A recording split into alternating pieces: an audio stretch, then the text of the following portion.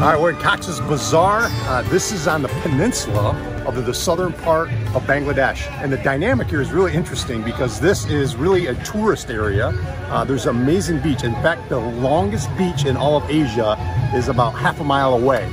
But yet, this is the place where one million Rohingya refugees have found as home. They were endured genocide from the Burmese.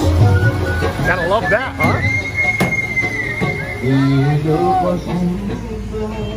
From the Burmese military. It feels like a happy place, but I'm telling you, friends, there's a million people have, who have endured incredible tragedy just a few miles away from here. That's where we're going today, in Cox's Bazar, Bangladesh.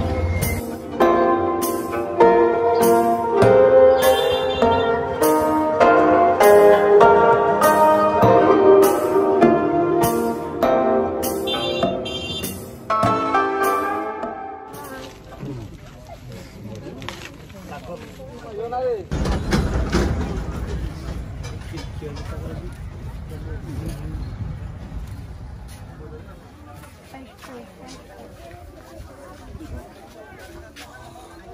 Để không bỏ lỡ những video hấp dẫn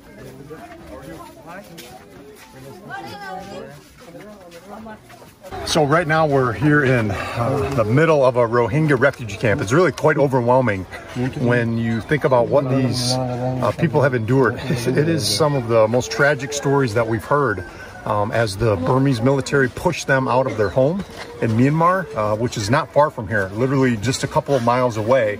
And they fled here.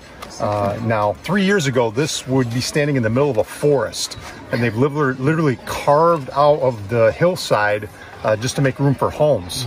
So this this would be one of the last places you would pick to build a settlement of any kind. But because of the peace and the safety that they're finding here, the Rohingya have gathered together here uh, under the protection of the UN and they're given the basic necessities of survival. That's it. They have water, they have food, they have shelter, and that's it.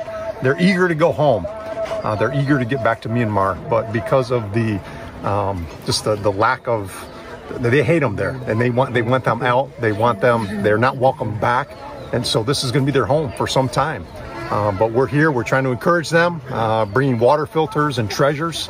And that's why we're here with the rohingya and all these precious people uh, that uh, jesus loves. And we love them.